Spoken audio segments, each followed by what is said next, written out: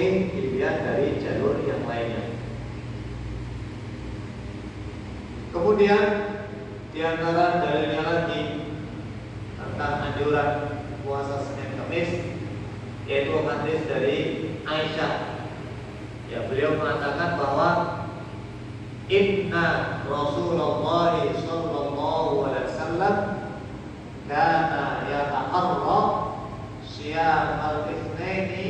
o aluno compreender